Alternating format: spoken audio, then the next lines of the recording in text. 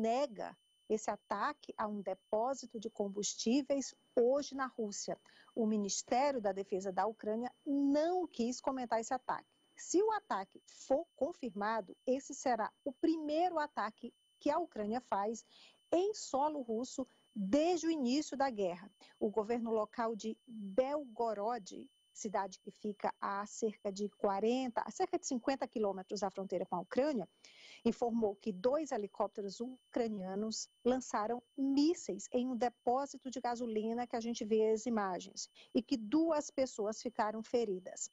Outra notícia importante hoje da Ucrânia Aliás, ainda sobre esse assunto, Amadeu, desculpa, o Kremlin disse que esse ataque na Rússia não ajuda as negociações de paz. Agora, outra notícia importante que vem hoje da Ucrânia é que o Comitê Internacional da Cruz Vermelha informou que teve que adiar mais uma vez a tentativa de evacuar os civis de Mariupol, cidade que está cercada pelas tropas russas. Em nota, a Cruz Vermelha disse que um grupo da organização teve que retornar que estava indo para Mariupol teve que retornar a Zaporíndia depois que os arranjos e as condições impossibilitaram o prosseguimento da operação.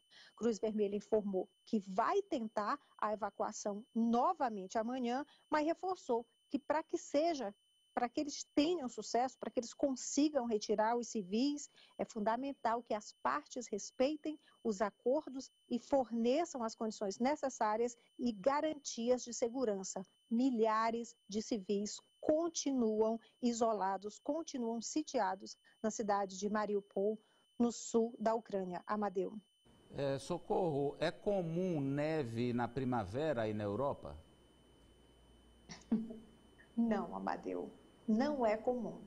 É um fato incomum que está acontecendo aqui na Europa e muita neve para os países estão enfrentando. Na verdade, Amadeu, foi um março quente e agora muitos países enfrentam essa frente fria que vem com neve por aqui. Primavera suspensa na Europa. A neve deu as caras na época das flores no hemisfério norte. A cidade de Saint-Étienne, na França, amanheceu assim, branquinha. Muitos moradores ficaram surpresos com as baixas temperaturas. Sim, magnífico. É lindo, muito lindo, mas gostaríamos de ter tido neve em fevereiro, no inverno, como deve ser. Foi uma surpresa, mas positiva. Já estava na hora, porque não nevou este ano, e isso me preocupou, antes tarde do que nunca. Porque eu jamais. Ça me fait plaisir, ça change un peu. Fiquei satisfeito. É um pouco de mudança. Há uma semana o tempo estava bom. Estávamos de short, camiseta e chinelo. E hoje, no dia 1 de abril, está nevando. Franchement, c'est em algumas regiões da França, a neve chegou a causar atrasos no transporte público e pequenos acidentes nas estradas. A neve também cobriu Haia, na Holanda. Os moradores precisaram tirar as roupas pesadas que já estavam guardadas nos armários. Deu até para fazer boneco nos parques e canais da cidade. No final de semana, a previsão de neve para países da Europa Central, como República Tcheca e Áustria. Ontem foi a vez da Inglaterra. A neve caiu em algumas cidades do norte do país. Após vários dias com temperaturas acima da média, a região parecia cartão postal natalino.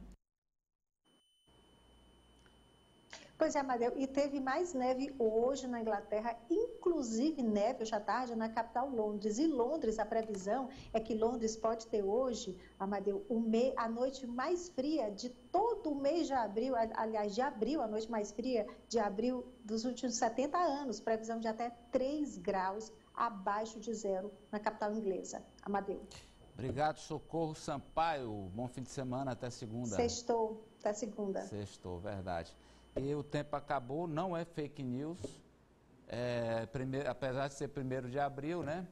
Agora, interessante, é, a gente fez o programa inteiro hoje, da mesma forma que a gente faz os outros todos do ano, sem mentira, sem fake news, não é? Sim. Verdade. Verdade. Não é uma coisa, infelizmente, né, nos dias de hoje, Tá, tá ficando até incomum. Obrigado, Ari. Sávia, obrigado, Apoliano, obrigado, Ananias. Vamos fazer um intervalo, a gente volta.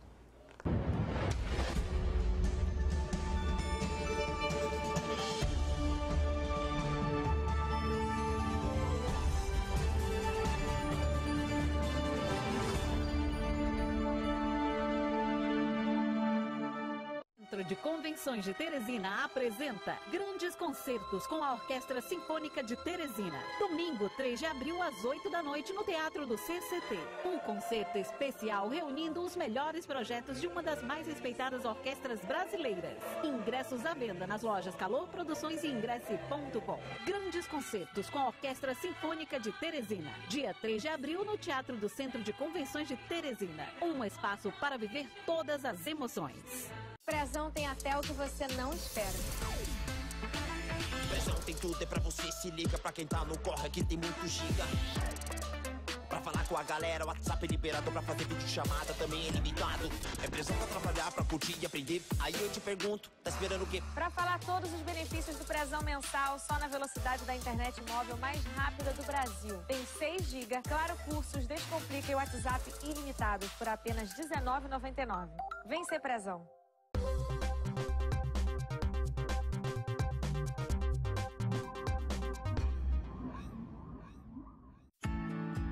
Faça parte da melhor. Novo curso. Medicina na Faculdade 7. Estude na Faculdade Genuinamente Piauiense. Faça medicina na Faculdade 7. Com professores renomados. Estrutura de alta qualidade e laboratório de ponta, preparado com os melhores equipamentos. Medicina na Faculdade 7. Venha!